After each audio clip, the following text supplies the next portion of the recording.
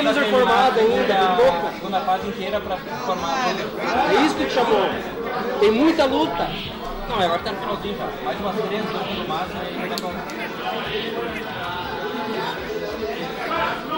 Aí fulano fica na minha mala.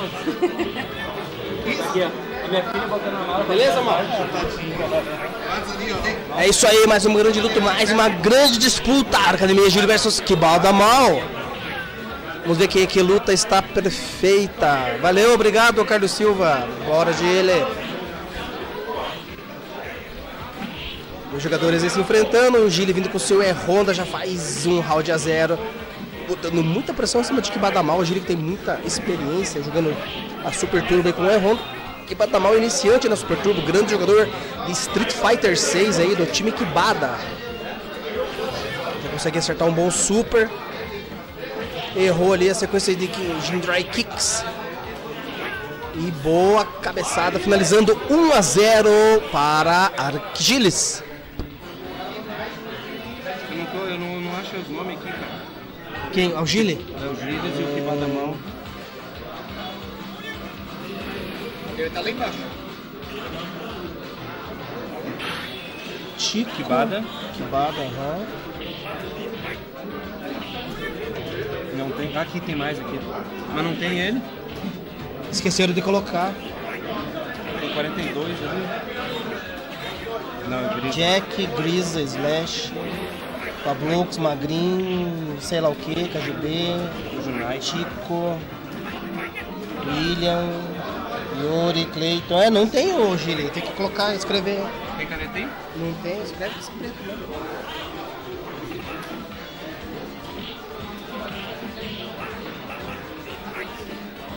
fazer, vai rodando duas losers lá, enquanto isso. Chama duas losers ali da, da primeira fase. Deve ter alguma coisa. Ó, só tem uma, luta só. só. Não, tem mais aqui pra baixo. Ah, tá, tá, tá. Chama lá então. É que 2 a 0 2 a 0 pro, pro. Magrinho e Fabrício.